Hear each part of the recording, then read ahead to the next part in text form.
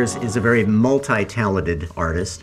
He started in the 80s on a film called Animalympics, starring Billy Crystal and Gilda Radner. And on that, he was a triple threat. He was the art director, a writer, an animator. Throughout the 80s, he continued as an animator and a writer. And the Walt Disney Corporation picked him up as a concept artist for the film Tron. And at that time, uh, being a concept artist for a new art form called Candy Apple Neon, which no one had ever seen before, was quite an accomplishment because that form of art as much of the art you saw in this film was very unique. It was created by backlighting artwork and doing several exposures on top of itself to create that dynamic look. After Tron, Disney kept him on as a storyboard artist, so he began to work on films from the very inception in the story department as a storyboard artist on some films that you may have heard of, such as The Little Mermaid and Rescuers Down Under. And they kept him going further and made him a story supervisor in charge of story for Beauty and the Beast and Aladdin and other films. So it's no wonder that after this run of hit films with Disney, he was assigned to be the director for one of Disney's most popular films, The Lion King. The Lion King has a worldwide gross of an incredible $952 million, just short of a billion. And it may have hit that at this point. So it is no surprise to me that this artist was given the ability to take care of the work of Kahlil Gibran that has pleased readers for generations. These, these books were written in 1923, they're still in publication, and it takes an artist of this caliber to bring those words to life in this wonderful animated film. Your children are not your children and though they are with you, they belong not to you. What is it to work with love? Work is love made visible, and you are my messenger. Our host for the Q&A this evening is producer Tova Laiter. Tova's credits include Glory with Denzel Washington, Oliver Stone's Nixon, Evita with Antonio Banderas and Madonna, and also Varsity Blues. Ladies and gentlemen, please welcome Mr. Roger Allers and Tova Laiter.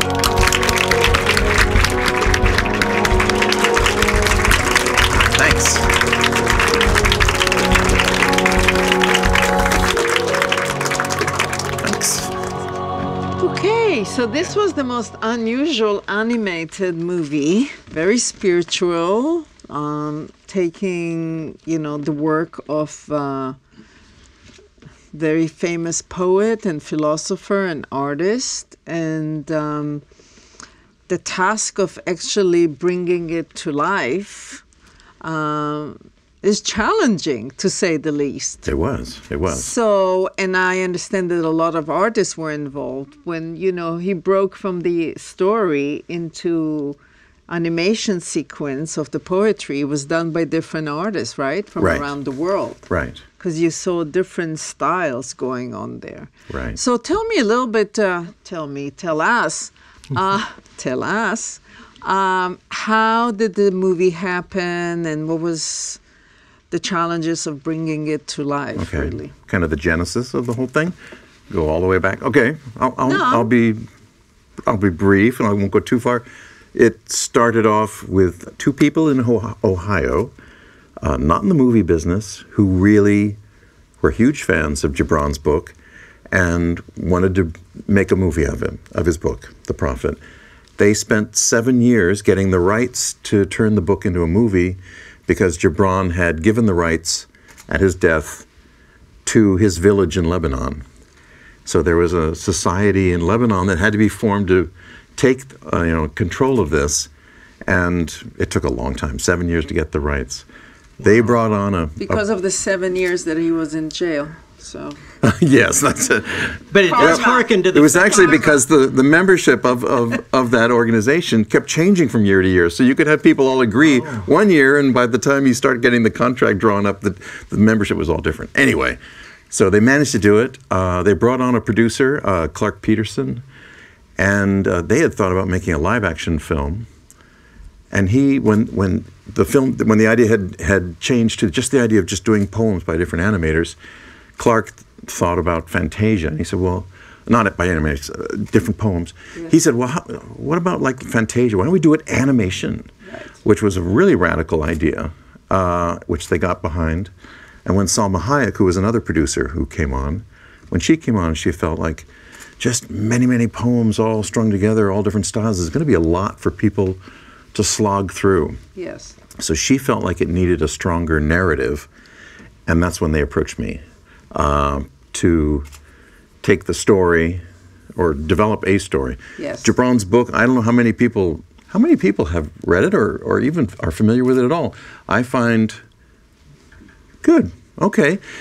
I think that's interesting because I think, you know, of, of this generation, not many people are very familiar with it. Um, anyway, Yeah. to familiarize, familiarize you with it, it has a very slim story. Basically, the story in the book is just this guy can't leave this place. It's all very vague. And he sees his ship, and so he decides, this is it, and I'm leaving. And everybody comes to him on the way and goes, oh, because he's so beloved, talk to us about this and this and this. And then he gets on the boat and he leaves. That's kind of it. It's really a small story. So I needed to turn it into something larger and find a way that the story could weave in and out of all these philosophical poems. Boy, you, you can really see him in a story conference, can't you? With the storyboards behind him explaining the whole concept. Because I can't talk without using my hands. Uh, no, it's you put them under here, and I'll, I can't do it. Like girl. Yeah. Boy, uh, one question I had is on uh, which is which is different from live action because typically in a live action movie you have one director. Yeah. And like in a Disney feature, there's oftentimes two directors, and here you were the main director with a lot of sequence directors. And I was wondering if you could comment on how that works. Right. Um, uh, well, basically, it was up to me to come up with a story, and it was up to me to figure out which poems and how many poems to fold into it. And I knew there were several, like love and marriage and children, that have been very popular for over the years. Some people use some of those words in their wedding vows and things like that, so they've been very popular. And I knew I needed to include those. Uh, but otherwise, I was just a matter of trying to think of which poems would seem to come out organically out of the story so that it would feel seamless. Uh, I started off with 12, and then it, it sort of reduced to eight as demands on the story kept coming in. So the story got bigger and bigger. Uh, the story was going to be like 20 minutes, and it wound up being like 55 minutes. Um, so, you know, I picked which poems. Uh, some animators had been already approached and had agreed to do things and had been asked, "Oh, if you had your choice, what one would you like to do?" And sometime, so some of them wound up still in the project. You know, when I came on, and, and then we, I also got others who, you know, to fill also other empty spaces, etc. Uh, and sometimes I had to come to them and say, "We're not going to do that poem anymore. So would you, would you be agreeable to doing this other poem?" So. So that was a little awkward sometimes. But uh, yeah, so people did. And basically, I wrote the story, I had the concept, and they were mostly free to develop their own ideas, to, to put their own stamp on it, to have their own vision, because that was kind of the intention. And that was mm. part of what I thought was really exciting about this project is that I got to work with all these people, many of whom I've just I've admired for a long time, others who I was new to, but very excited to work with. So the idea was let's let them go and do their own Yeah. thing and have this really be a showcase of different approaches. And also because it's poetry, that's part of the thing about poetry is people can interpret poetry so differently. So that was part of the excitement about the thing. So really, I they would present storyboards of their uh, poems before they began. I gave a few notes. Mainly, they were in the interest of trying to keep things flowing and graceful. And I would sometimes give suggestions, but I always said, "This is up. This is your thing. I leave it up to you. I'll toss a few suggestions out there, but this is yours." So it was very much the individual artist's uh, intent and vision. It was very elegant. I think that kind of because someone has to see the overall view, which Yeah. you do, Yeah. and then gently steer these artists Right. and let them have their way. And and it speaks universally too, because someone may go, boy, that Plimpton thing really spoke to me, and the others may not. I think you've made a very universal uh, Right. approach. It is interesting just in terms of getting people's reactions when they see it. Mm-hmm. Different people have, have different favorites. I mean, a lot of people say, oh, this one was my favorite. I loved the one on children, or I loved the one on marriage, or, you know, people respond to different things, which I think is kind of fun. It just shows, again, how we're all uniquely individuals and we do respond differently to things. Um, for me, who I'm, I'm not really, I don't understand the whole animation process really. But, mm-hmm. but it seemed to me that the animation had kind of a retro feeling because the poetry is still it's like from 1923 i'm not saying that it's not relevant now i'm But the just language, saying for that example? the delivery of those kind of messages today are done in a whole other way you know and so Right, right. um am i right or am i wrong that the the, the animation had kind of a retro feel because today animation is done in a uh, in a much more technologically advanced kind of a way Well, it's Yes or interesting. I mean, uh, uh, maybe in terms of your thought about things, the pace of things, things maybe are very, very quickly paced today, I think, as a general statement. And maybe some of these things were a little more languid in their uh, timing. Um, But, Oh, but also, also there was a lot of swirling of colors and things. Well, in most animation today, things are much more precise, isn't Yeah, it? I thi- I think and what- harder edge. okay, so all right, because because of CG animation, okay, a lot of that is very crisp because you're building um, virtual 3D models. So uh, it's less like people who animate with paint or, you know what I mean? Yeah. That gets these kind of smudgy edges and things like that. You know, you have. You have a character in, you know, How to Train Your Dragon, and everything is very Yeah. crisp, Yes. and the, the hair of the beards is very Yes. precise. Yes. So I know what you mean. That kind of style of CG uh, is very dominant right now. right. Not that it has to be. I mean, one thing I hope for this movie is that it also kind of opens people up to, oh, we can do things differently. The first poem, uh, the one on freedom, the one that has the birds and the birds get attached to the tree, that was CG. That was done in CG uh, by a Polish animator. I love his stuff, and yet it looked like uh, like pastel. You know, like really dusty, gritty pastel. Um, so I, you if anyone had asked me, I don't think I would have necessarily known that that was CG. It doesn't have any of that sense of. Right. It doesn't look like Woz and Buddy. It, you know, it looks. You know, it, it looks like someone who's worked with something with texture and. Um, so let's see other other techniques. Um, the good and evil, the one with the stags and the turtles, Oh, which was done as kind of a watercolor effect, and sometimes the pigments would sort of dissolve off of things.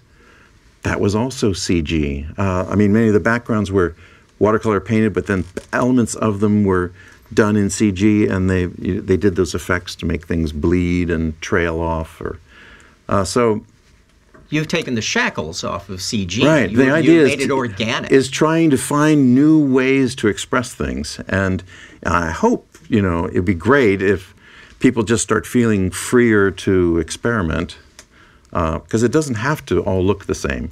And I'm not saying that all the CG films look the same. They have different styles, but I know what you mean. They have a feeling of that rigidness or Listen, the, the new Star Wars, you know, all they talk about how they're going and doing things not really CG and they're going back to the original a little bit and going to Yeah. do, you know, the old school way. Right? Are they going to use models and things like that? Yeah, uh, well, that's the Interstellar first won the one. Oscar, right? And that was Yeah. all models. yeah. Which yeah. which one? Interstellar, Oh, that was all models. all models, done by New Deal Studios. not Yeah, that they- hu- not that huge interior scene with all the kind of shelves and would that be a CG Is that a model were, or- those were projections on string? I had the, the Projections effect- on string. The Oscar winner was here explaining it. Yeah, it was it was amazing. That's interesting. Yeah. All right. That's so, cool. uh, you know, you go for CG, and then some Yeah. people hunker to the times when things were a little simpler and were done, you know, with little models that you did in your backyard or something like this. And it was like very cute. I want to ask you something. I, I don't know much about animation, but I knew the entire Paramount crew, Michael Eisner and Jeff Katzenberg from Paramount, and when they moved to Disney, they really restarted the whole Yep. Disney animation movies, you know, with the Little Mermaid and all, you know, and and it started the whole modern Disney animation movie. Uh, female leading characters, um, the songs and the music, and who did them, and so on and so forth. Were you there at Disney at the time? yeah. I, Can you tell us a little bit about that period at Disney? Sure. Um, I started a year after Michael Eisner and Jeffrey Katzenberg were put in charge of the studio. Right. So uh, I started on the movie. Um, I was hired to work on Oliver and Company as a story artist, and I remember they were still finishing up um, uh, Great Mouse Detective, which was the first film done under the new regime I see. and everybody was very nervous um, because um, Michael Eisner wasn't too sure about the animation division. Right. I think he was thinking, eh, it doesn't make any money. Why are we keeping this? Right. He was thinking of maybe trashing the whole thing. And it was, uh, Roy, well, as a businessman, that's what he was thinking. sure. But Roy Disney, who put him in that position, uh, said, "Oh no, no, no, no! You've got to do the animation. This is the foundation of the whole studio. Yes. We're let's let's do animation." But you still felt when I started there, you still felt like if we screw up, everything's going to go down. You know, and it was pretty. People were a little nervous, um, and uh, Great Mouse Detective did well in a small way Yeah. and I was working on Oliver and Company, and that did better. It sort of lifted up a little bit, and then of course when we did Little Mermaid, then that was a big smash, and Michael didn't have to be convinced anymore. Jeffrey, actually, on the other hand, really got into it Totally and into it. loved doing Totally. it. Yeah, he Yeah. just got a hold of it like a dog on a bone, and yes. um, and we know when Katzenberg gets a bone, that's it. he'll never let go. He'll never let go. Yeah. So uh, he was passionate about it. I mean, in the beginning, he didn't know anything about animation, so it was um, it was challenging, you know, Yeah. And working for a guy who does- doesn't know about it. Okay, so you were a story artist, right? What does it exactly mean? Okay. Um, uh, yeah, I don't know how. Are you all focused on animation? Are you No. interested in different areas of filmmaking Yes. and all that? Cool. Yes. Okay. So in animation, for those who don't know, um, sometimes we'll start with a script. Not always. Sometimes it's just an idea. Uh, and the storyboard is basically like comic form, visualizing the whole film. Sometimes you've, you're given script pages and you you visualize how the scenes will play out. You visualize how the camera would move. You visualize where it's set. You come up with gags, visual ideas, and you and you draw them out on, you know, little little pieces of paper like so, and you pin them up on a board, and then you can pitch the whole story, you know, present it, and people can get a sense of the pacing and how well the how the scenes are playing. As I said, sometimes you're illustrating a script, other times there's just an idea and you go ahead and you invent it, and then dialogue is added in. And it's also a very collaborative process. So someone might write, then you would draw, and then someone would, you know, draw. You know, it's back and forth. So the whole movie ultimately is done on these panels, and once they're approved, then the storyboard panels were, would be filmed, cut with scratch voices, meaning not professional actors, but everybody in the studio who had any sort of talent for that would record the lines. And it would be cut together, and you do a rough version of the film. Oh, wow. So the film would be shown, you know, these scenes would just be still drawings, but cut together to give a sense of what was happening. And uh, it's amazing how much you can tell from that. You can actually, you can actually get emotional watching a draw, you know, a film made up of stills. I, think it's had interesting. a question from a, a, a student recently who loves animated films like Mm-hmm. this. And she did ask me, Do I have to be an animator to direct an animated film? Right.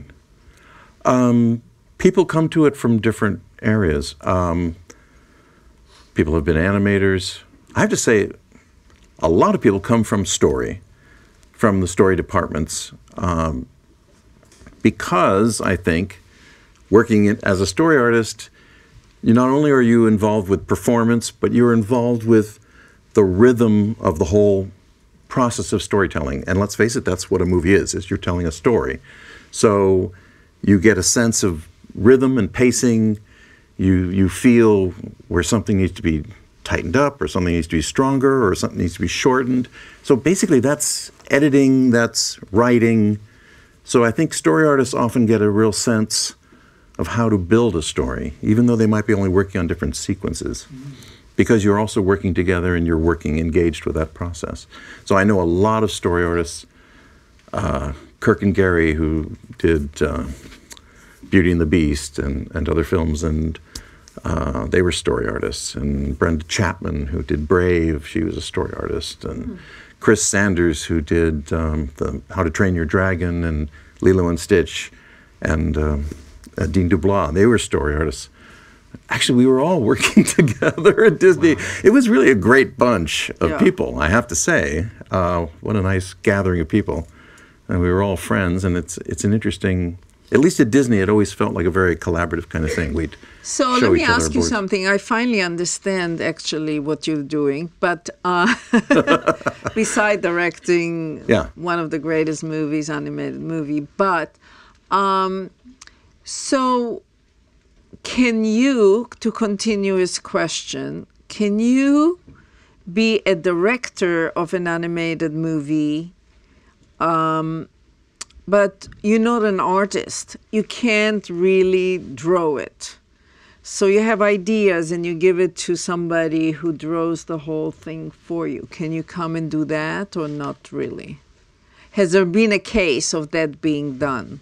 Or do you I'm trying to think. come- I can't think of. I cannot think of anyone Wow. who did not start as an artist. That's not to say it's not possible, Right. but so much of it is uh, our aesthetic decisions. Yes. You know, and if you're going to be the last word, you're going to be the last judge on something. Yeah. I mean, if you weren't an artist, you would have to depend on the artists that you'd hire around you to be that for you. Right. And I think it's possible. Right. That's possible. Yeah, well, I suppose if you have taste, like like you go to art galleries all the time, you could probably say, "I want this sequence to look like Bierstadt or something like that," Yeah. and that would. Right. Uh, Well, Right. directors do that sometimes. They hire, you know, people to course. storyboard scenes. Art for directors. them. Yeah. Yeah. But uh, that's interesting. By the way, what you told me about that when you write the story and you basically draw it out, and then you actually have a whole sense and the vision of the movie. It reminds me that we had here um, what the editor of Birdman, and he said that you know because it's all Did they storyboard at all for that? They Excuse me, just stop, stop they not only story but but they basically shot they did a rehearsal of all that shooting with the handheld and the going in and going out and the, the, so choreography so forth, yeah. the choreography of it. The editors was on the set with the director and so on and so forth. And they shot it and that was their guide Yeah. to then shooting the movie. hmm Especially with that movie because of the I know. continuous camera Continuous. work. yeah. but that's interesting. And the other thing that is, was interesting about that is the movie looks like it's one long shot and there's Yeah. no cuts. Yeah. He said a hundred cuts. He said that many? A hundred cuts, but they really worked a lot Very clever. to diffuse it. Yeah. I was aware of maybe four or five, but certainly not a hundred. Hundred that was one of the most Wow. inter- yeah, interesting things. It's interesting. Now, I know Walt Disney started the whole practice of storyboarding, Yes. But other directors have certainly taken it up, and many live action movies also use Yeah. storyboarding. Yeah. George Lucas used storyboarding a lot. Alfred Hitchcock mm-hmm. used storyboarding a lot. I think also when you're planning out, especially planning out big action scenes, Yes. It's very expensive to shoot things and then have a Yes. have it be a mistake. I mean, if you're really going to do it, especially the more CG effects that are in there, it's basically Yeah. like doing an animated movie, right? Because you're just creating this stuff from scratch, and you really have to plan everything out. It's a great planning tool. Who else is involved in that process? You are the story artist. Is there an animator who then Once gets every scene and basically slice it and dice it? Well, the editor slices and dices it, separates it into scenes, and then those scenes, well, they're designed. You know, the, the backgrounds and, and the way the scene moves is designed first. So By that's what's called the layout artist. The layout artist. So you de- design your layout, uh, what the background will be, how the character will move through the background, the camera move. Then, and and there'll be some character suggestion poses to see how the character fits in there. Then that folder is handed off to the animator. So now the also you would have in the meantime recorded the voice talent, uh, and you'd cut it together in the reel. You know the actual voice talent, and you know it, it starts to work. So then when you've got you know the soundtrack and you've got the layout, then you hand that over to the animator, and as the director, then you talk to him about what the scene is and what's happening, and how it relates to the rest of the movie and what's the emotional intention of the scene. Um, and then, you know, that's what the animator gets, and they go off and. It's like doing a Broadway musical. It's very much like doing a Broadway musical. As a matter of fact, Howard Ashman, who was the, the lyricist for Little Mermaid and Beauty and the Beast and Aladdin, he gave a lecture, I remember, at Disney. Uh, and he compared the art of doing Broadway musicals and doing uh, animated films, especially animated films that have music in them. And he said the process is so similar, so So similar. not that stupid. Not that stupid. that no, Come now. please. Anyway, now I understand a lot more Good. about how it's done because It's a, very a broken down. A Yeah. mystery. It's really not very mysterious, though. Yeah. Should we ask the Uh, student? Do you have another question? No, let's uh, let's get uh, someone from the audience. And while you're walking up, uh, Roger shared that some of the animation you saw on that screen was actually clay animation painted on glass. I think, right? Right. The the one that has it, it looked like oil paintings that kept changing. The one on work, uh, she actually works with colored clay rather than paint, and she has all these colored clays, and she mixes them like you would blend paint, and she applies it with her finger. She paints with her finger, so everything is done, you know, on a board, and she'll paint the image. You know, take the frame of film and then adjust the image and add more and add more, and it changes and it builds and it builds very labor intensive. She said she, you know, she did it all with this finger. She said up to a point, and then that finger was just ruined. so then she shifted to her second finger.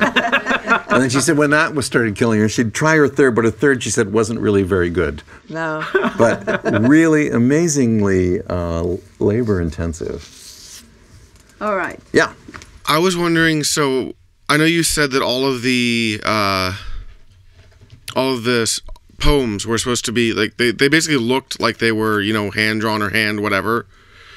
I know some of them weren't like the ones you mentioned, but I was just wondering what made you decide to do the main story as the um, computer animation with a painted background rather than more similar to the poems. Good question. Um, I didn't. In the very beginning, now just to give you the background on this, I was asked, what kind of style would you like to do? What would you like to do? And I said, I would love to do a traditional animated film again. I'd love to do, you know, regular traditional hand-drawn animation. So that's what we did. We started off, we worked through a, a company in Canada, which basically sort of farmed out to animators around the world. And they animated by hand. And we got six months into it and realized we were so far behind schedule and so getting so far over budget, we were not going to be able to complete the film.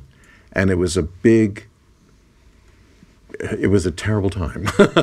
it was sort of like, is this all going to crash and burn? And after a lot of uh, examining of what our options were and where else we could go to get things done, it was decided really the only way to get the film finished, because we weren't going to get any more budget or, or any more time, uh, was to do the character animation as CG.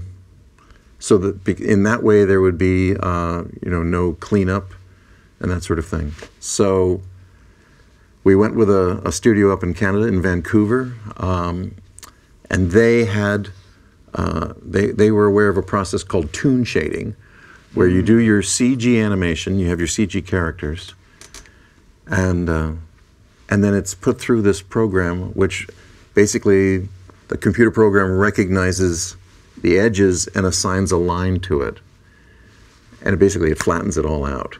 So the animator works with a C, 3D CG character. 3D is misleading, you know, and and then the the program flattens it back out. And then what we did after that is I had a team of traditional animators go back in on top and then finesse it. Because sometimes sometimes the animators had done a beautiful job with their CG characters. But And let me tell you, translating our original graphically drawn flat, you know, 2D characters into CG models was just the most hellish job. God, it was awful. Anyway, so we went through that, and uh, but sometimes the animators would do a beautiful job, but in the process of the toon shading, sometimes details would get lost. You know, either the shapes weren't big enough to be recognized to create a line. Right. So these guys, headed up by a guy from Disney, Nick Ranieri, who you know animated Hades and lots of other cool characters. Anyway, he came in and headed up a group. They went back in, finessed the characters, added extra stuff. Uh, we didn't have really very uh, complicated models in terms of clothing and everything. They went back in and added more follow through and wrinkles and shapes, and so it had this. It was a really strange Process. process and, and it was all out of necessity trying to because we weren't going to change the backgrounds it was still my intent to have the whole thing look like i wanted it to look like ink drawings with It- watercolor You succeeded. It's- thank you i yes. hope so yeah No, it so does. That's why I said it really felt like it was yeah retro. retro yeah so yes thank you for asking that because it was quite a a crazy process and um, yeah Just Very quickly, challenging. which was the first uh, of traditional style that you were trying to do, but then What was which, what? which traditional style of animation were you trying to do originally? which traditional Yeah, style I mean, like which like hand drawing or Yeah, like hand drawn. Okay. Yeah, so like a traditional, you know, like back in Mm-hmm. Disney pre CG days, uh, hand drawn. Yeah, sorry, I'm not an animation student, so I don't know any. No, of that's okay. No, I just need to define the terms, Yeah. I guess. Um, All right. yeah. Okay. Okay. Thank yeah, you very much. CG tends to have that puppet look and that, that squash and stretch you get can. the drawing. It can. I mean, really good CG. Of course, we're seeing really good CG these days, and Yeah, yeah. and they get a lot of stretch and squash and everything in it. But yeah, it was great. And Thank it helps you. so much with the car and stuff where you don't have to worry about the perspective. well, that's true. Well, the car was CG. yeah. Hello, my name is Katja. I'm from the producing program. Hi. Hi, uh, thank you for such a great ephemeral creative work. It was really amazing. I loved it. Thank Uh, I was actually wondering on a different note how you approach story and kind of grab onto the tail of a story and your process in that. Mm-hmm. I know it might be a bit of a big question, uh, but I was really So you're asking me how I how I created the story out of yeah, and how book? well, you and how you approach story. How do I- Generally, like approach. I presume you have like a way you deal with story. I wish I had a real method to my madness. Um, I have to say, and in all the ways I work, I'm mostly kind of an intuitive person. I mean, I do think things out. It's not like I have no rational brain, but um, a lot of it is just things come to me. I visualize things and I dream about it, kind of, you know, awake dream about it and see what comes up. I mean, in terms of, in terms of this story, as I, I think I said, there was a very minor story in the book. And in order to flesh it out, I was asking myself, all right, here's Mustafa. He's in this. Why is he stuck here? In the book, he said he actually in the book they said he was there 12 years and couldn't leave, but they don't say why. And I was going, well, why is he stuck there? So I tried to think of, well, what reason, what would keep you there? Certainly ships must come and go. So I had the thought that I had also done some research on Gibran. He had also written some uh, poems. He was born in Lebanon, but came to the U.S. when he was about 12 with his mother and sister. They lived in Boston, and then later he lived in New York. Uh, Lebanon at that part of time was part of the Ottoman Empire. And from his distant vantage point in the U.S., he watched the political machinations going on there, and he wrote critical pieces about what was going on there. And one of which was that was the poem that I quoted in the movie. I gave that to Mustafa, and that was actually a Gibran poem that he had written, you know, uh, about the Ottomans uh, and what was going on in his country. Um, so I thought, all right, stealing a little bit from Gibran for Gibran, I, I said, all right, I'll I'll make Mustafa a, a political prisoner. You know, he's expressed uh, his ideas about something, and he's gotten on the bad side of the authorities, and they've they've they've put him under house arrest. I was also thinking of uh, her name, Aung San Chi. That's what I was thinking. Am I? Were Yeah, you? yeah, I. Cool. And I'm always bad with her name, but I always was so impressed with her. I think she was under house arrest for 15 something years for expressing her her opinions about trying to democratize her country. So, you know, I thought it's timeless. You know, people are often generally the, the, the philosophers, the peacemakers are the ones who probably get it the worst. I don't know. But I thought that was a that could be a motive, that could be a reason why he was there. And also I thought, all right, if it's a house arrest, then he's up in a house up on a mountain and he can look over the sea and be philosophical and it can be kind of his his monk's retreat as well as his imprisonment, right? So Yeah. it also was uh, after college. I went traveling with a friend through Europe, and we wound up in Crete, and I wound up living in Crete for a year, Oh, wow. and uh, for a little while in a cave, and uh, another little another time in a in a little little house, a very rustic house, no electricity or anything. So I pulled a lot on my experience of living in Crete. Also, it being a Mediterranean country, I thought this won't be so far off from Gibran's origins as well. So, a lot of stuff, you know. You, so, as a process, getting back to your question, I pull from current events. I ask myself questions about the characters. You know, why are they doing this? Um, in their situation, what would be meaningful to them? What would other people's relationships be to them? Um, you know, I, I thought originally, I thought the first idea that came up was, of course, he would have a guard and that they would be friends, that that would be a place where he could be, uh, one place he could talk about things. Originally, the, the freedom poem was to be shared between him and uh, The guard. the guard. Halim. Halim. Isn't that terrible? All of a sudden his name went out of my head. oh, Lord. Uh, Halim. Great, thank you. Sure. Thanks. Hi, Mr. Allers. My name is Anuja, and Anuja. I am a live action filmmaking directing student uh, doing my MFA. Um, and I think I'm the student that Mark was referring to. Um, I love animation. I grew up watching all of your films, and they inspired me, and I want to do what you do. I want to do what you did.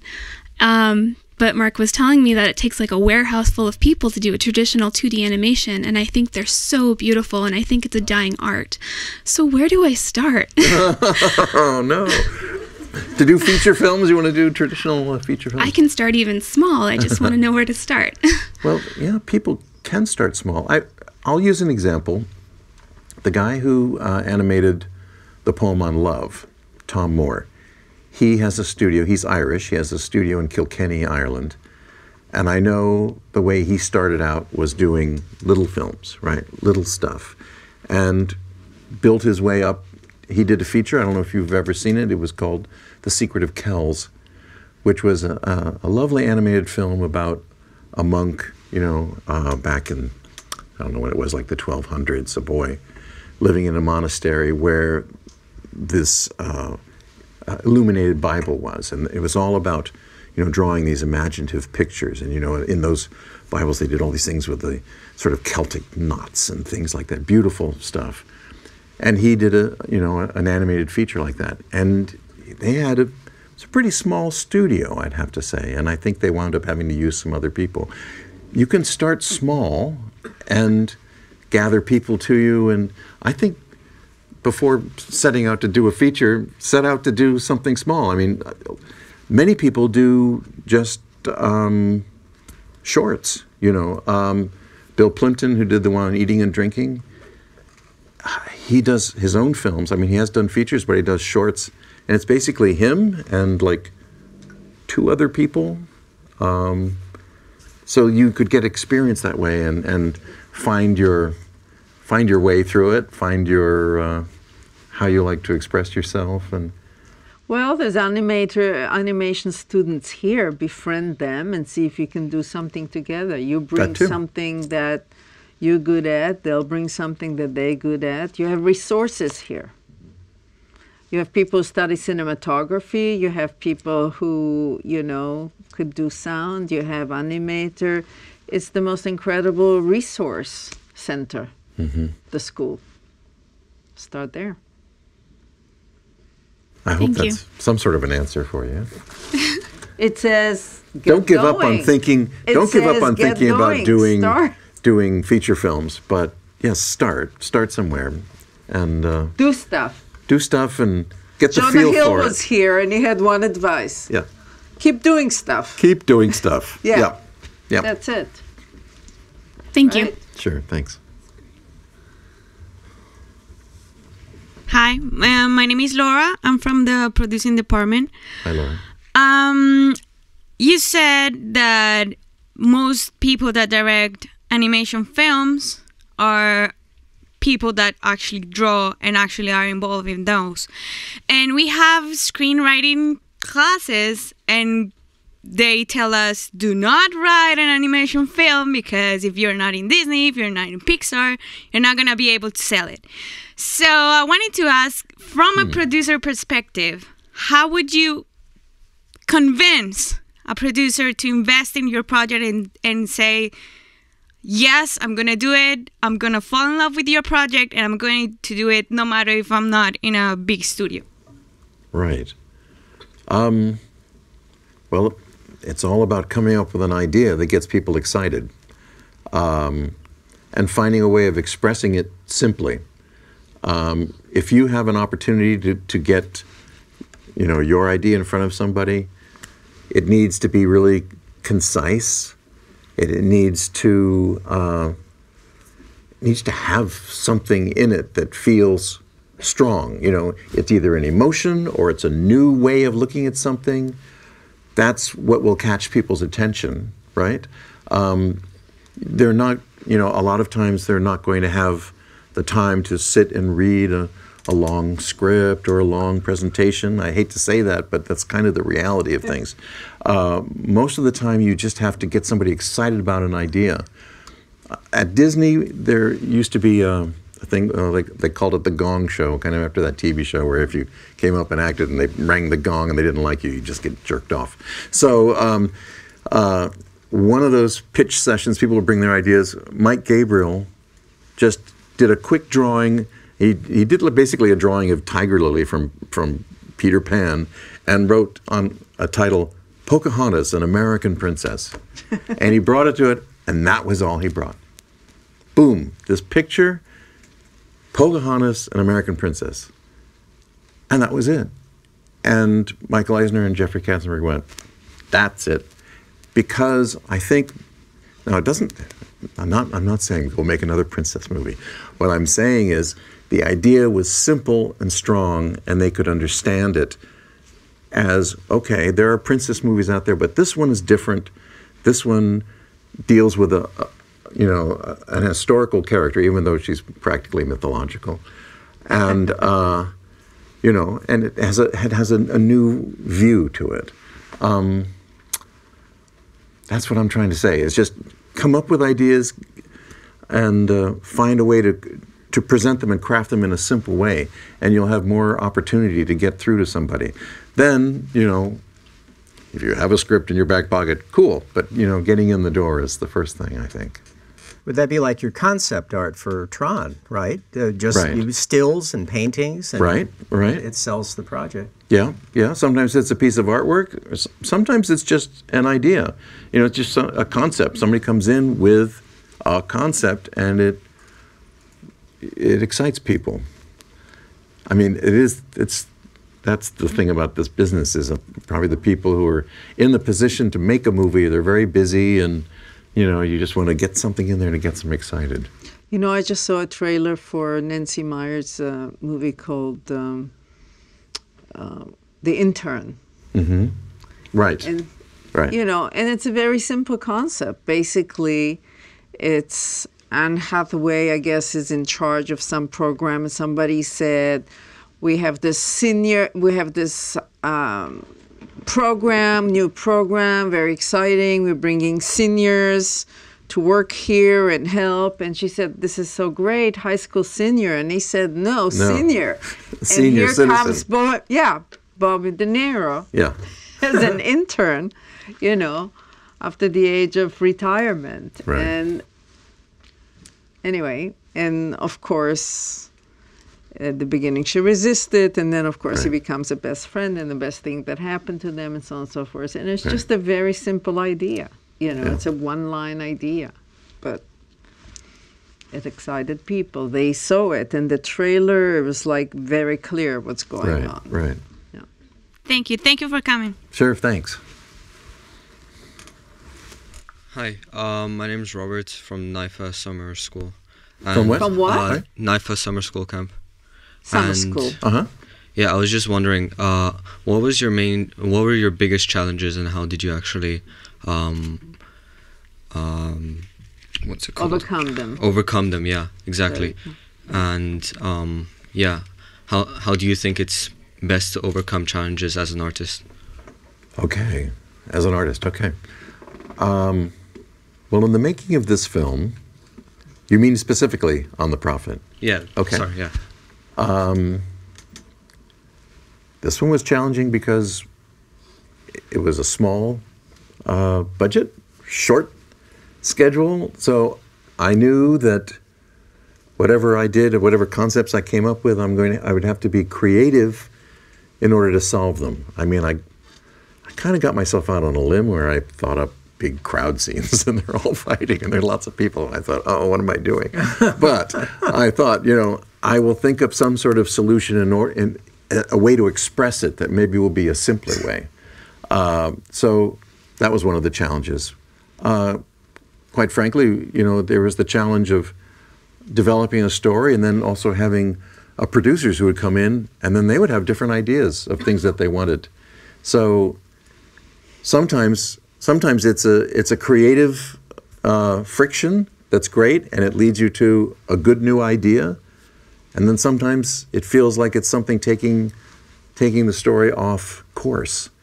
So that's also that's a challenge as an artist to work with uh, executives or producers and their ideas and their opinions. And you need to work creatively and constructively with people and keep a good relationship. And then at the same time, you have to kind of hold your ground when you feel like that, you know, the essence of something is going to going to get pushed off center. You know, that's always very tricky. Um, very tricky. And of course, all everybody when they start wanting to be creative, and when they are creative, you immediately your ideas you get a lot of investment in them so people get very passionate about it so it's negotiating those sort of um, personal things is is can be very hard um, i think in terms of working together with other people on things too it's always important to think think about the project as opposed to well this is my idea this is his idea and that's her idea. But let's you know forget about whose ideas it is. Let's just let's throw ideas in there but let's always think about the project as like a third person so we don't have to get too possessive about our own ideas because it's always good to listen and get things out. That's one thing i loved about uh, working in story at disney it was always throw stuff off the top of your head. Don't edit yourself. If it's a stupid idea, that's okay. We're all going to come up with stupid ideas. So part of the creative process is not editing yourself when you're in the process, right? And if you're working with somebody else, try to create an atmosphere where, all right, let's work together and let's just come up with ideas and yeah, we'll find a way to trim it down. But when you're thinking up things, when you're being creative, try not to cut yourself off at the very beginning, if that makes any sense. Yeah. Um, yeah. All right. Well, All right. thanks. Thank you. I'm sure I'll think of something else when you've sat down. But I am Jeremy from the summer camp in Athens filmmaking. I'm from Paris, Ah. and we really respect your movie in France. And this one is pretty amazing. I got a question for you. That how does spiritual thing in life inspire you to do this movie? The question is, how did it? How does like spiritual f- thing you know inspire you to do this movie? Because I think you can find so many spiritual like thing in the movie that's like really touch you in the bottom of the heart. Like, Yeah. Yeah. Okay. Um, yeah. Well, it's a big question. Give me a minute. Uh, Right, I think To- you were. I'm sorry. I No, think that's you were you were quoted uh, in on the internet. I think before you did The Lion King. I think your father had passed just before that picture. Yeah, yeah. And that informed a lot of your creative decisions on that picture. yeah, I- and, and probably almost more in an unconscious way than even in a conscious way. Uh-huh. Um, this one, I was given the book when I was in college, and um, to tell you the truth, one of the first times I ever sat down to read it was with a friend. We were just reading through the book and reading it out loud, which is an interesting thing to do if you're reading stuff that's more poetic. It's always interesting to hear it.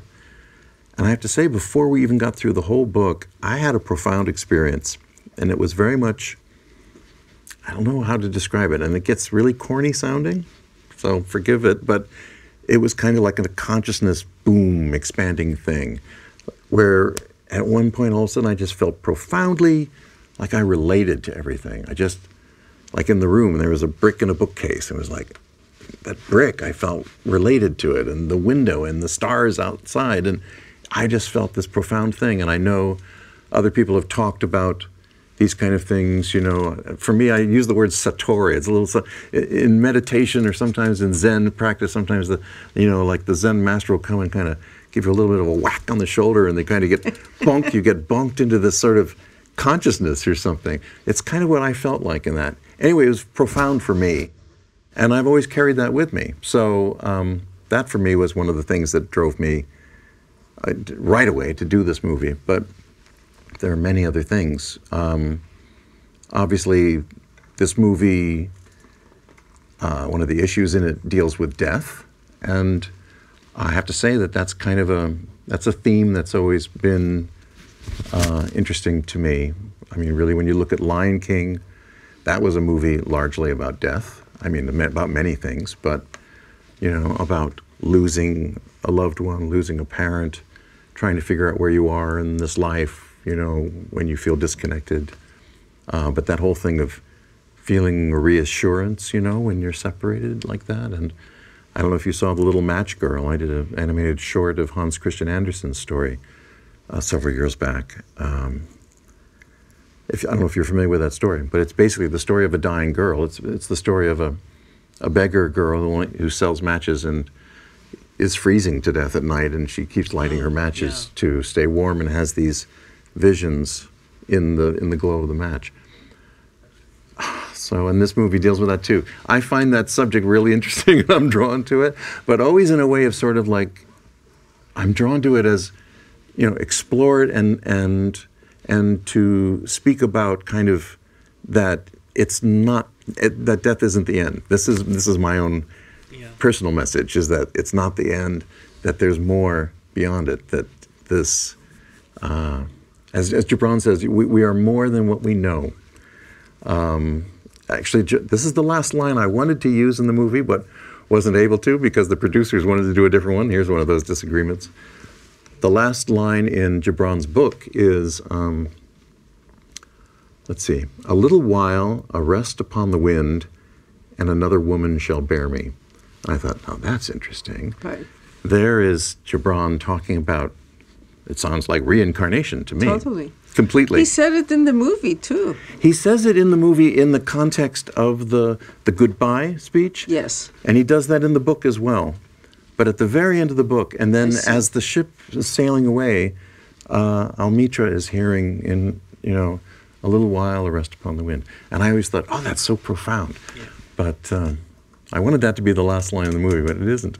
So that's one of those things. There, you know, there are things, of course, that are very um, meaningful to me that I, since it's my movie, I get to stick in there most of the time. Yeah. So. Thank you so much. Sure, really. thanks. There's a there was a lot done in Paris in that movie. The Brizzi brothers, who did Death, uh, worked in Paris, and um, the piece on uh, Good and Evil, though it was directed um, by um, Mohammed uh, Harib, it was done at the uh, Mikros studio, the Mikros studio that does um, Asterix. And they did that watercolory kind of uh, thing of good and evil. Yeah, a lot of work there, and a lot of the storyboarding was done in Paris. Uh, the Brizzi brothers, I worked with them in L.A., and then they had to return to Paris, and then we did it online. A lot of this movie was done over Skype. Wow. Really? We had like a little three room office in Santa Monica, and I had a big screen in my room, and so much of it was done over Skype because the char- you know, character designers in Berlin and the art directors in Berlin, and there's animators in Ireland and animators, you know, in. yeah, that's how the Minion studio works. Because when you're going to bed, they're waking up there. Yeah, and that's tough. When you're spread that far, coordinating times is, is hard. Anyway, next question. Hi, my name's Kate. I'm in the three week filmmaking summer camp here. Yeah. Um, I was just wondering what it was like to work with Liam Neeson as a voice actor. You know what? I only had two days to work with him, which is really short for a film. But to his credit, he is so professional and so good. He came in, and in one day, we recorded all of his dialogue, and there was a lot of dialogue for that character. And um, yeah, he was great. I mean, he has a beautiful voice, for one thing. But we would do, you know, maybe no more than six takes ever on a line. And the next day he came back and we did all the reading of the, the poems of the chapters. And uh, he was so prepared. Obviously, he's really familiar with the book. Now, I had edited some of those poems down because, time wise, some of the poems are a bit long. So I had edited Gibran's poems sometimes. He came in, and when we were recording, he was just doing them almost from memory because he knew the whole original poem. And I had to say, well, no, we have to look, look at the script because it's a little shorter. Uh, but his, his reading of the poetry I found so, uh, what's the word? I don't know. It was just, it was so intense. It was so uh, astute. I, we would do maybe three or four versions, one right after the other. And there was just no need for me to even give any kind of guidance. He would just do slightly different interpretations, and they were beautiful. I think the guy should record, you know, recorded poetry or something. I loved listening to his recordings. Uh, great sensitivity and uh, and something maybe he doesn't get to do very often now. He seems like he's kind of fallen into the uh, Action mode. the action movie, and you know, it's all like quick over here. Is you know, what does he get to do? Maybe Or- you can combine. Not the with my daughter. right? What? Maybe you combine the two in some way. Yeah. Yeah. Anyway, because he can be a really sensitive artist, and yeah, he was uh, a pleasure to work with. We had great voice actors. I had so much fun. I, well, I'm so lucky. A lot of that came from uh, Salma's relationships with these actors that they would come and agree to do it. Um, uh, John Rhys Davies, uh, who who just did the cafe owner. He's you know he's um, he's Gimli of the of the Lord of the Rings dwarfs, and uh, also the guy in uh, Indiana Jones. You know, Indy. Oh, bad dates. You know that guy? you know, he's great. As a matter of fact, at the end of our recording session, he said, "Okay, here's a few freebies for you." And he started rattling off lines from his pictures. I have it on. tape. it's recorded somewhere. It's great, but so much fun. And then he would, in, you know, ad lib like crazy. It is fun to get people who ad lib. Uh, Yeah, because you never know what's going to come up. You out. never know what comes up. Yeah. Yeah. Thank you so much. Sure. Thanks. Hi, sir. Hi. Uh, thank you for coming. My name is Aina, and I'm from China. Um, so, uh, in China, a lot of friends will love your animations, especially Lion King.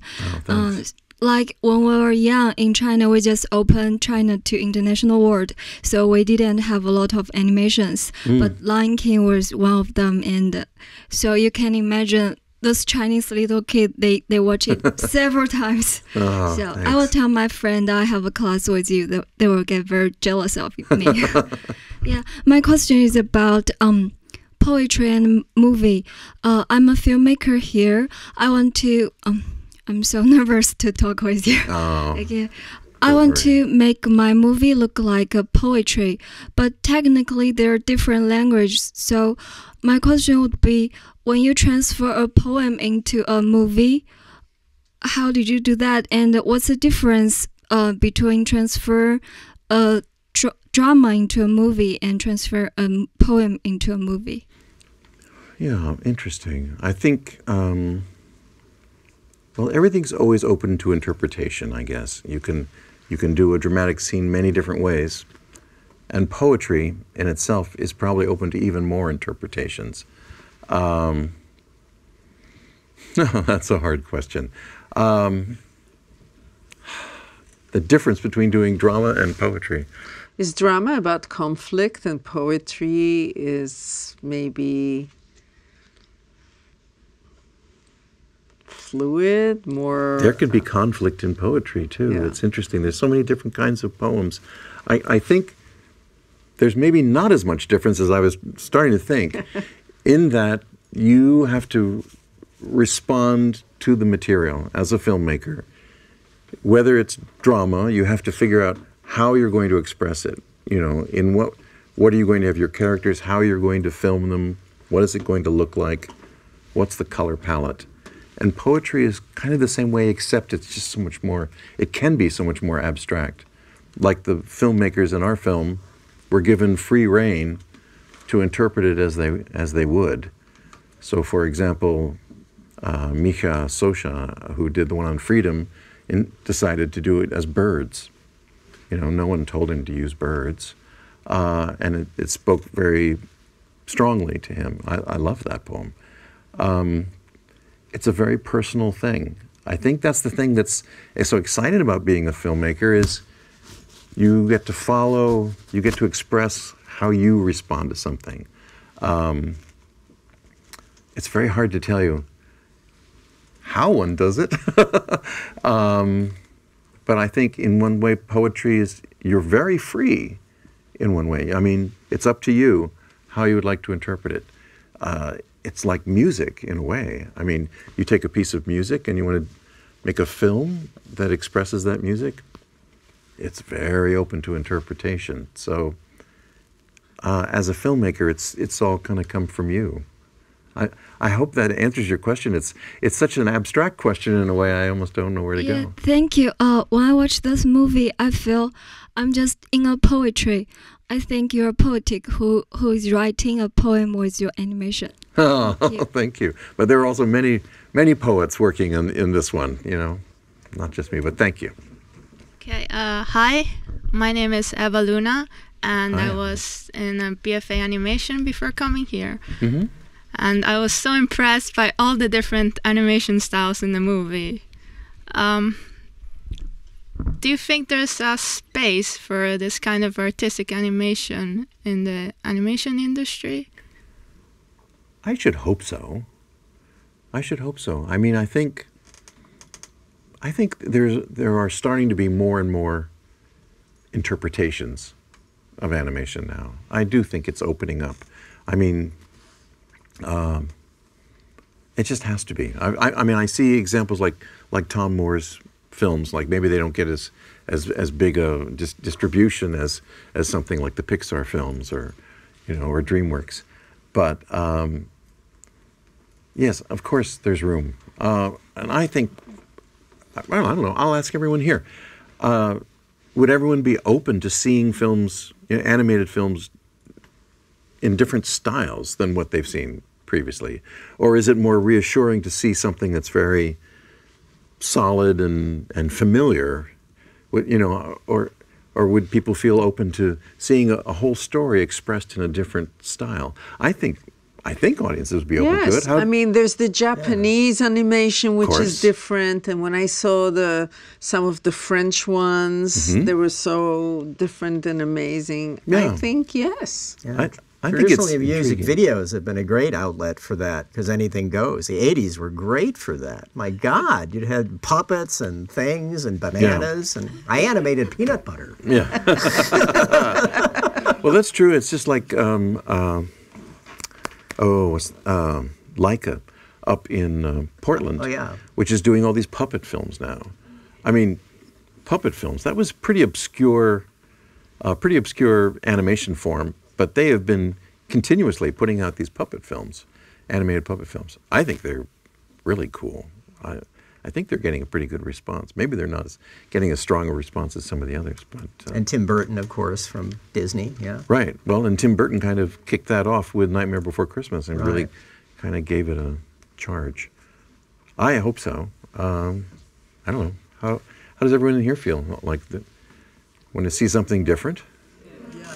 Yeah. Okay. Cool. That's the new generation. Yeah. They'll do it. They'll do it. Yeah. They'll get it done. okay, the last one. Last but not least. Hello, my uh, my name is Zach. Um, I am in a free week digital filmmaking, and uh, yeah, I want to try to keep this question quick. Um, um, a lot of people confuse. Well, I know some people confuse animation. Like some animated movies are for kids, and obviously that sounds stupid. But how do you keep films like this and The Lion King as like family movies rather than just kids movies?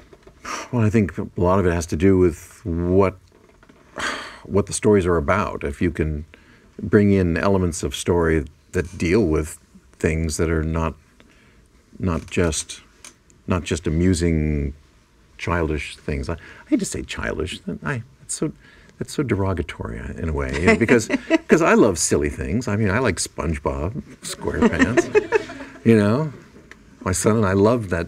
One of the first movie, we just howled over it. So, so I mean, it can be stupid and it can be fun, but I think you know things. I guess it's I think you know what are some of the issues or things your your story are talking about. I think I think that that opens it up to more of an audience. I when when we worked South at, Park and yes Family Guy and sure Archer, one of my favorite. Yeah, yeah. Uh, when we worked at Disney in, in story, we rarely tried to think about who our audience was. To tell you the truth, we really just tried to amuse ourselves. Um, yeah, because you can't know what someone else is going to like. yeah. I mean, that's all you can do. You can amuse yourself. You can do something you think feels good, something that makes you feel something. You know, a, scene that makes you sad, or or a character that makes you laugh. And you know, if it makes you feel that way, then you think, well, all right, I'm amused. you know, I hope everybody else is. Uh, Oh, that's heartening. So you didn't have the demographic police come and say, "We need uh, we need a donkey movie this year." Well, I, I mean, there, there's sometimes there are those influences going on in studios, uh, but no, mostly, you know, all the artists who worked together were all basically trying to amuse themselves, uh, and we did plenty. Uh, that's, I think, the only way you can work, because otherwise, you're reaching for something you don't know Yeah. what it is. Yeah. I don't know how you can be rooted in something if it's not personal, you know, if you Mm. don't have a response to it. I, I, do- I, I hate the category of animation just all being for kids. I think that's, I think that's very frustrating for me. Certainly, that attitude isn't held in, you know, in Asia, and it's not held in Europe. I think it's really very much a particularly an American Mm. kind of uh, prejudice, quite honestly. Uh, and I think there are many adults who enjoy, you know, a lot of these films too. You know, even if they're uh, kind of nominally for children. You know, if they're well made, Yeah. if they're well made and they're entertaining and they actually have sometimes have a little substance. I think why can't it be for adults Yeah. too? But I think even more adult content would be fine too. You know. Okay, Thank you. Yeah, thanks. Thanks. Thanks a lot. Thank you so much Sure. for coming here. And I think that uh, certainly, I think we got a little much more, we got more understanding of Good. what animation is and the Uh-huh. process of it, right? Oh, absolutely. No, you know, but no, but he completely fooled me. I thought I thought the bulk of it was Yes. all drawn. I mean, to have the have it be CGI and then the flattening it with the toon shader, it was Yeah. it was Yeah. impeccable. Oh. Absolutely impeccable. Thanks. It, it was uh, a little. It, we were a little nervous at first because we didn't really know how it was going to look. You know, they had done a test, and we thought, well, maybe. So it's when you throw your lot in with something, it can be a little nerve wracking. Well, thank happy you with it. so much for coming. I'm Thanks. sure a few people here maybe are inspired to maybe try their hands on something like that. And, um, you know, it's always good to see a pro here. Thank you. Thank you very Thank you very much. much. Thanks. Thanks.